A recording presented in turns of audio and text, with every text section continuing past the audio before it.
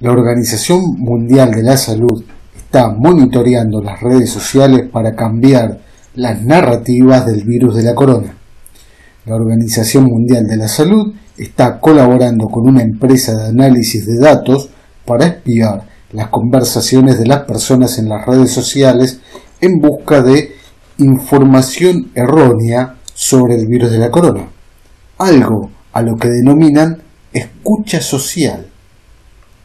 La empresa ha recabado más de 1.600.000 publicaciones en redes sociales semanalmente para monitorear la conversación en línea. Luego utiliza algoritmos de aprendizaje automático para clasificar la información según los requerimientos de la Organización Mundial de la Salud.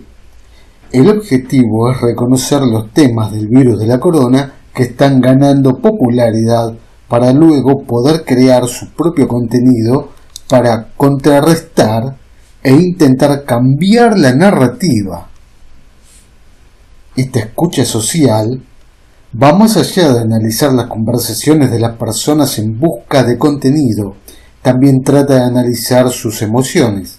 A través del análisis del lenguaje, la tecnología detecta emociones como tristeza, aceptación, negación y ansiedad. Con tales conocimientos, esperan idear estrategias efectivas para ajustar las narrativas del virus de la corona. La entidad sanitaria reconoce que no todo el mundo tiene acceso a redes sociales. Por lo tanto, están trabajando con la ONU para usar una inteligencia artificial y aplicarla en la escucha social a las radios, que son la fuente de información más común para las personas sin acceso a, Internet. La ONU ya está aplicando la escucha social en Uganda, donde intenta hacer frente a la información de que el virus de la corona se puede tratar con remedios naturales. Todo esto es una tremenda farsa para que te sientas perseguido, para hacerte creer que están en todos lados y que no podés escapar. Inteligencia artificial para monitorear las radios en Uganda.